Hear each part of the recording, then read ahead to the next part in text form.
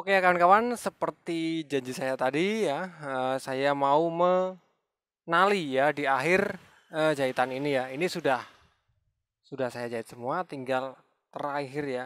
Jadi caranya adalah kita masukkan jarumnya, kita tarik benang, bukan benang sih, uh, senar ya. Senar raket kita masukkan dan kita tarik ke dalam semua ya.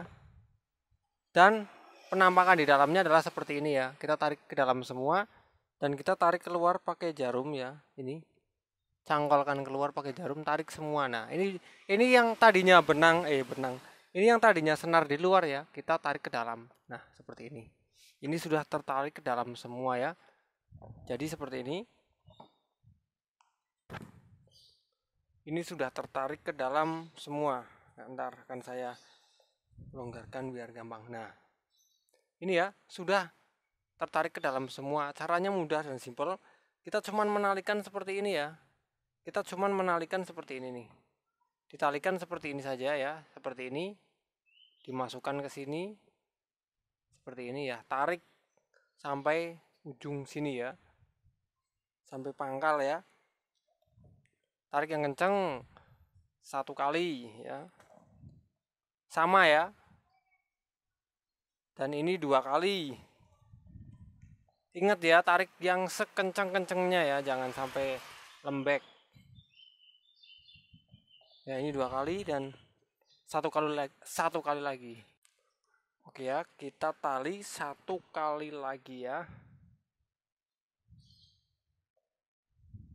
Nah seperti ini kita tarik yang paling kencang sekencang-kencangnya ya.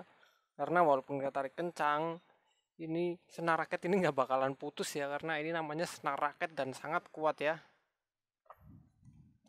Jadi hasilnya akan menjadi seperti ini ya. Ini sudah ditali tiga kali ya. Dan gampang saja ini cuman kita potong saja ya. Dipotong saja seperti ini. Motongnya jangan terlalu mepet ya. Ini biar biarkan seperti ini ya. Nanti kita tutup uh, install ya tutup install nanti ini sudah tidak tidak seperti ini ya. Dan seperti itulah cara menali pada sepatu bola yang dijahit memakai senar raket ya. Semoga video ini bermanfaat untuk kawan-kawan semua ya. Oke saya sudahi. Wassalamualaikum warahmatullahi wabarakatuh